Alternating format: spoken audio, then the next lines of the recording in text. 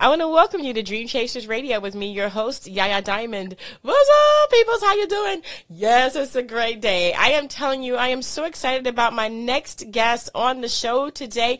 Mr. Lloyd E. Gross is here. Welcome to the show, sir. Thank you, Yaya. Thank you. How's your day going? It's going. it's going. it's going. It's going in a better direction than it went last week. I'll tell you that much. well, that's good. Yeah, definitely, definitely. So, tell me about yourself. Okay, first of all, I am a retired Lutheran pastor. I uh, have been in the ministry after 40 years of active service there. I retired in 2008. Wow. And I was pastor at Christ Lutheran Church in Cleveland, Ohio at that time, where I had been since 1979. Uh, the seminary I went to was Concordia Seminary in St. Louis. And I did my undergraduate work at Valparaiso University in Indiana. Mm-hmm. I have lived uh, in the Cleveland area since 1979 now. Wow. I am a widower I have two children and two grandchildren. Wow. Wow. You know, what is it like to finish a book? Because I know you're a published author now. What is it like to finish a book and be like the limelight of your your grandchildren's eyes? First of all, it's a relief that it's done. I hear you. Yeah. Uh, secondly, remember, writing is is a hobby for me. It's not the way, it's not what I do for a living. So it's definitely a, a second uh, pursuit. Mm-hmm. And yet it's one in which I have a great deal of interest. Okay. And of course, this book was trying to come out of me for a long time, although in many, many different ways, because it's a rather complex book. Mm-hmm. It takes care of three generations. And of course, backstory includes the fourth. Wow. It covers a, a period of time from 1909 to 1977, and that includes the epilogue. Hmm. I don't put myself in it. I'm not a character in it. Okay. Uh, I suppose things that I would like to be are characters in it, Eh. but I myself am not a character in it. Okay. Uh, it takes place in New Orleans, which is where I grew up. okay. And you know, I haven't lived there since um, since I was 17, really. Wow. You know, I was just I was curious about the name of the book.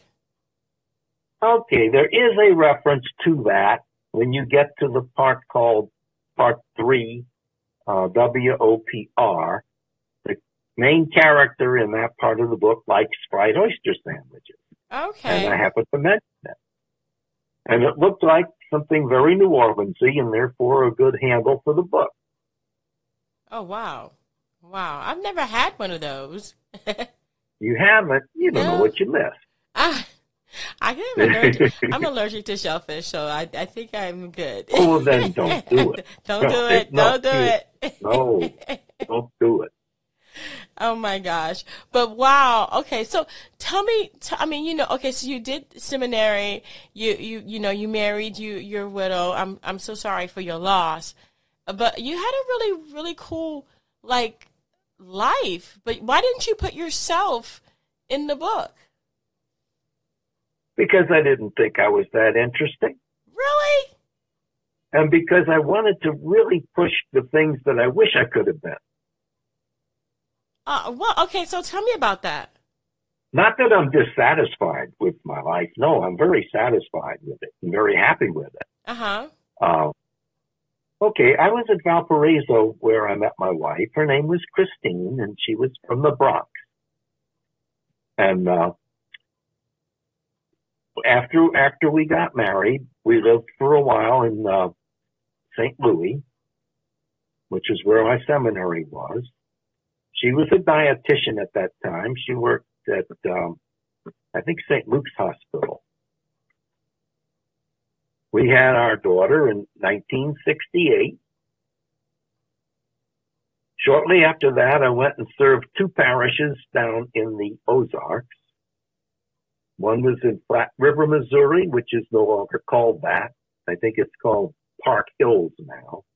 But when I lived there, it was called Flat River. Mm-hmm. The other was in Bonne Terre, Missouri, B-O-N-N-E-T-E-R-R-E, which is still called that, which is French for good land.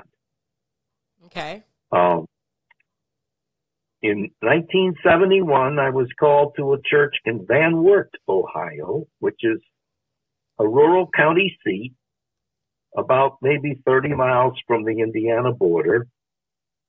And I served Emmanuel Church there for seven years. It was while I was there that my son was born in 1971.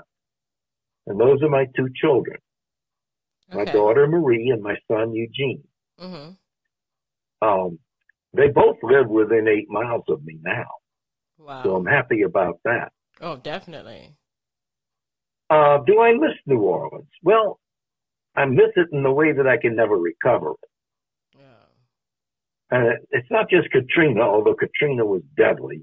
Yeah. But there are other things that, that mean it's just not there anymore. yeah. I, uh, I used to love to go out to West End, for example, mm-hmm. to go down West End Boulevard and then cross over the New Basin Canal Okay. and then go into West End Park, where there was some great restaurants out on Lake Pontchartrain. mm-hmm. Um, that's all gone now. Those restaurants were all taken down by Katrina. The park was inundated and is no longer a park. So there are things in New Orleans I could never do that I would have loved to have done, Mm. but they're gone. Now, Wow. I do remember them. I remember them well enough to write about them. And I hope to save them for posterity in what I wrote. Right. Okay. Wow. Well, would you like to know any more about me or should we get to the book? You know, I'm just, I'm thinking, I, I was just thinking to myself, why don't you think you're interesting? I mean, literally, I thought that was kind of cool. I mean, Maybe I know to- myself too well. I, I think so. I mean, literally, I'm like, okay, wait a minute. Why doesn't he not think he's interesting? I don't understand. Oh, I think it's because I know myself too well. I'm used to myself. And Oh, it yeah. keeps me being interesting to myself for, for that reason. I think everybody feels that way in one aspect or another. And I mean, you know, everybody feels like they're not interesting. But at the same time, it's like, okay, your life is so interesting that I, I think it's a travesty that you didn't write about it. Are you going to write about your life in the future? I don't know how much time I have left. Um, I, I have a couple of ideas for other stories, although not a full length novel. Mm-hmm. Uh, and I have idea even for a sequel to Fried Oyster Sandwich. Okay. And uh, to understand that, you have to understand what Fried Oyster Sandwich is based on. Yeah, please tell me. An alternative history. And that's the key word there. It's an alternative history. Okay. It's a history in which the Confederates win the war between the states and Mm. become a separate republic. And the two republics grow up together and become good friends because they still have all the railroad tracks that connect the cities between them. They still have a common railroad gauge. Uh, they, they still have a lot of things in common. They are separate republics. They have separate governments, but they are allies Mm. and probably intend to remain allies. Wow. And although they did have a little talk about trying to include Canada in it, they understand Canada belongs to the Brits, that uh, they have their own discussions as far as that concerned. Mm-hmm. Wow. All right. So that's the background of it. Mm-hmm. Um, in this background, New Orleans is about the most important port city in the Confederacy. Okay. Now, a lot of what goes on in this book has to do with church, religion, theology, things like that. Uh-huh. Because the three generations that uh, that grew up here are all Lutheran, beginning with the first guy, uh, George, who is the minus one generation, if you wish, um, is not really backstory. He's actually a character in the first part of the book. Okay. And uh, George came from St. Louis because economic opportunity beckoned him to the South. And he became captain of the Jackson Avenue Ferry. He was in the Merchant Marine, and through the Merchant Marine, he made contacts and found out they were looking for somebody to captain the Jackson Avenue Ferry. So he accepted that and made a very nice living with it. He lived in the Garden District. Mm-hmm. Okay. When we start the story, it's 1909, and his son, whose name is Eric, is 20 years old. He's a student at Tulane University in the School of Journalism. Um, and while he's there, he meets Stephanie, Okay. who turns out to be his life partner. Stephanie, who's half Cherokee and comes from Tulsa. And she's like uh, three years behind in, in school, they are good friends and they go for walks in Audubon Park and things like that. And eventually they marry. Hmm. Uh, he gets a job for the newspaper. Uh, Eric gets a job for the newspaper with the newspaper, and he is worried about hurricanes and thinks about them a lot. Okay. So much so that the mayor appoints him to a committee about hurricane preparedness and about the levees and how levees should be maintained. Right. They should. He does well with it. He does well with, with his uh, work. Stephanie stays home and they have two children. They have um, Henry, who's born in 1913, and then they have um, Linda, who's born in 1916. Those are their two children. Okay. I don't take them much beyond that because the story really with them transfers to the next generation as you get to chapter four. Okay. About hmm. 13 years go by and we're out at Lake Pontchartrain at one of the camps. I don't know if you know what the camps are or were. Well, there's still some. Uh, but they're wooden one-story buildings that are built on piers out in the lake. Okay. And at one time, there were like five miles of them along Wow. the lake shore. At this time, uh, 1926 to be exact, three years after the industrial canal was built, uh, they're in a camp which is east of the canal, Uh huh. and there's a bridge over the canal, and trains that are crossing the canal always blow the whistle before they cross the bridge. Okay.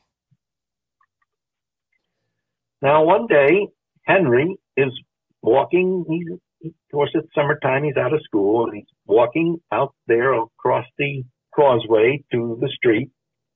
And he sees a girl walking along the track. Uh huh. And it's not a girl he knows. Not at all. But eventually, he comes to the realization that there's going to be a train coming soon and she should get out of the way Okay. and he doesn't think she knows about it, so he goes up there to tell her about it. And that's where Henry meets Renee. Ooh. These are the two main characters for chapters four, five, and six. Or books, or, you know, parts four, five, and six, chapter four, five, and six, whatever you want to call it. Right. Um, he's 13 and she's 12. When they, when he gets there and talks to her, she starts to run. You can't really run on railroads. Right. So she trips and falls. He picks her up and carries her. And then they, they hear the train coming and he has to get them off of the track. Unfortunately, the only place to go is the swamp. Ooh. But they do. They go into the swamp. The train passes and then they can go back up on the track. Mm-hmm. So call it a cute meet if you wish, whatever you want to call it. But this is how they get together. And they are attracted to one another. Wow. They have some awkwardness about that, needless to say. Uh-huh. And putting it into words is virtually impossible because it's never happened before. They're not really sure what, what they're up against. But uh, they are attracted to each other. Nice. He takes her to his camp. His mom is there, and they meet his mom. His sister is there. And they meet his sister. Um, after a while, she goes back to the camp where she was staying, which was two camps down. And it was the camp that belonged to her friend who lived next door to her at home. Uh-huh. The friend's parents and her parents are friends with each other. So they go to, to this camp, which was called Gingerbread. Incidentally, Henry's camp was called Tulsa because that was his mother's hometown. Mm-hmm. Um, the parents meet the parents, and everybody likes everybody. Hmm. It turns out that even the little kids, um, Renee doesn't have any siblings, but her friend Dorothy does. And her Uh-huh. friend Dorothy is her hostess at that camp. She has two little siblings, and Henry, of course, has Linda. And all of these children uh, become friends with each other. Okay. I'm going to skip to chapter five. Mm-hmm. By this time, Henry and Renee know they like each other. They correspond. Uh, it's the day before Mardi Gras, and he challenges her to a bicycle race at her house, which is down in the Upper Ninth Ward. His house is in Edgewood. Hers is in the Upper Ninth Ward.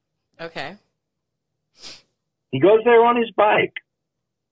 And after all sorts of treats, which um, Renee's mom makes, being a Cajun, she makes a lot of treats.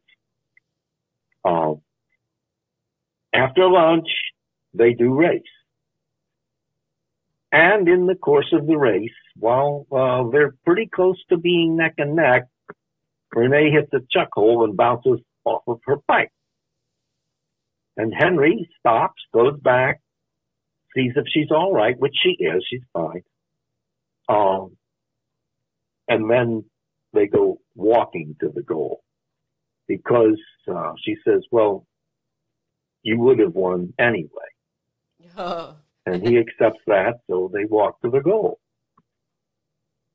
And well, yes, he's chivalrous about this. He's very chivalrous about this. Uh, what else can I say here? They, of course, have a number of discussions about their favorite topic, which is writing short stories, and the topic that has most concern for them, which is the difference in their religions. She's Catholic and he's Lutheran.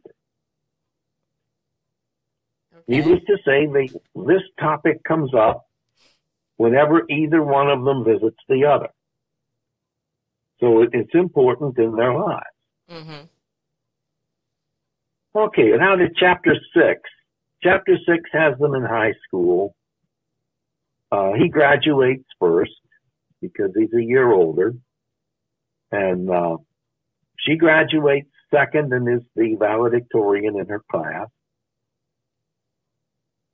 And in her valedictory address, she mentions the fact that Henry saved her from the train, which kind of embarrasses him. And, uh, she says she certainly didn't mean to do that. And he says, well, he's certainly glad it happened. However, I didn't do it for credit. And, uh, somehow they both managed to get through this little trial. She invites him to dinner at her house and they end up also getting married. Wow. Wow. Well, you okay, I'm gonna I'm gonna stop you because I don't want you to tell the whole story. But this Okay. seems so cool. Like this is like the love story of all love stories. Like it- Really? it's just, it's- to me, this is a one. They're I only 13 and 12 when it starts, and I then mean- the bicycle race is uh, the following Mardi Gras. Right. So it's nine months later. Right. I, I have friends of mine who literally met each other in middle school and they're married today. Okay. Well, So good. this is so cool. That is so cool. It's just so cool. Wow, wow. So, I'll tell you, every couple in my book that gets married stays married. I hope so. They do. They stay married to the end of the story. That is so cool. That is so cool. Wow. It Wow. isn't until chapter 10 that they have the hurricane. Mhm. And that's told as from a child's viewpoint Okay. because that's being told by Henry and Renee's children. All right. Chapter 10, Henry and Renee are grown up. They have three kids and the kids are like um, eight, six, and four when the hurricane hit. Wow. And it's being told Martin is the boy. He's the only boy. He's the middle child. And even though it's not, uh, it's not a narrative, it's not a first person narrative. It's a third person telling it, but it's, uh, from his viewpoint. It's telling it from what he sees. Right. Wow. Wow. Well, I want to thank you, Mr. Gross, for being on the show, for writing such an amazing book, but you now have to write about your life. Oh, I don't know. Actually, the next thing I was going to write about in the sequel was how the U- Union and Confederacy got together again and became one nation. oh, well, that would be kind of wow. Wow, that would, yeah. That would definitely And I have wow. to, I have to have a boy and a girl, one from each nation, to um, to be a microcosm of it. Right. Yes, you do. Wow. Well, Mr. Gross, wow, you have a vivid imagination. I love it. And I can't wait for you to be back on the show to share your next book with us. Well, thank you, Yaya. Awesome. God So- bless and keep you. You too. And we're going to go ahead and have all of your information about the book in the description box below so that people can easily find it and get that fried oyster sandwich. Well, one thing, one thing I want to make clear too, and that is that my sister illustrated it. oh, cool. My sister, whose name is Peggy Beckwith, and she lives in Knoxville, Tennessee, and she uh, was the illustrator of this book. There's only like a ten illustrations, but she's the one who drew them, and that includes the cover. Wow. Wow, that is so cool. That's so cool to have an illustrator in the family. I can't draw worth nothing, so I always have to hire somebody to do something for me. but that is so cool. So, Mr. Groves, thank you again so much Yeah. for being on the show, and congratulations on everything. And we can't wait to have you back. All right, guys. thank Don't forget to comment, like, and subscribe. And until next time, don't forget to dare to be different.